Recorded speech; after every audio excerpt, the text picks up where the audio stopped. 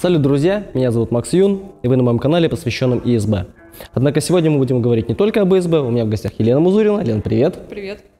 И э, мы вместе расскажем вам о хема, о том, чем хема отличается от ИСБ, и о том, что у этих двух видов спорта общего. Лен, расскажи, пожалуйста, о себе нашим зрителям.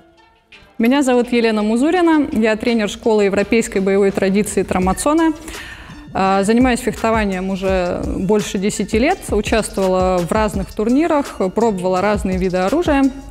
А, На данном этапе я сконцентрировалась на военной сабле и занимаюсь длинным мечом. От себя хочу добавить, что Лена является неоднократным чемпионом турнира Swordfish э, в номинации «Сабля и длинный меч», а в мире хема Swordfish – это своего рода чемпионат мира. Кроме того, она занимает первую позицию в женском рейтинге мировом по длинному мечу и занимает эту позицию уже три года. Таким образом, мы видим, что Лена умеет фехтование. Более того, Лена организует турниры, проводит семинары, у нее своя линейка экипировки для хема.